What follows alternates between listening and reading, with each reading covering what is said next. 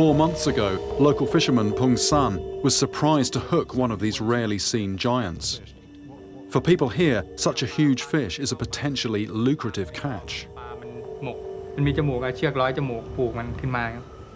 What happened, the stingray came to the, to the side of the river and then wouldn't come any further, actually, basically got buried in the mud. So what he had to do was actually get in the water, and it was about chest deep, and then completely go underwater with a rope, feed the rope through the spiracles, the water intake of the stingray, not the rope. He'd managed to pull it off the bottom, and it was actually as it rose in the water that he then felt this this pain.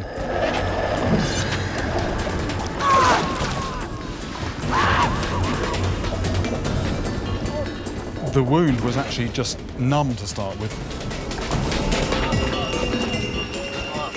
And then just this incredible pain, and in fact, so painful that he collapsed from the intensity of the pain and actually had to crawl the remaining distance to the house. This was something that wasn't going to go away on its own. It did need urgent medical treatment.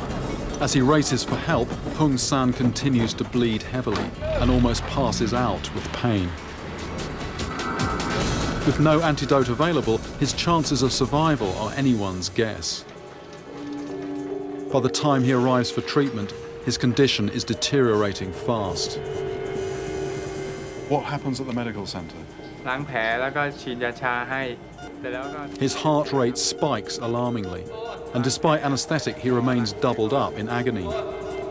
The wound, in fact, is no more than a glancing blow, and yet the pain proves so intense that Pung San is unable to work for the next four weeks. He still has the very barb that impaled him. Can I have a look at that?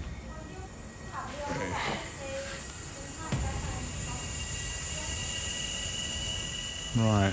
Well, seeing that really does concentrate the mind. Absolutely vicious point on that, and these horrible barbs down the side. And I think, uh, you know, this is a fish I've got to really treat with some respect. Evidently, even a quick jab from this fish can land you in serious trouble.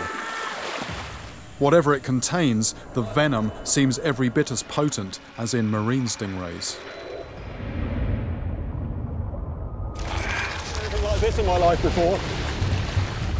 It's what they call a Queensland groper. This one's none too happy to see me.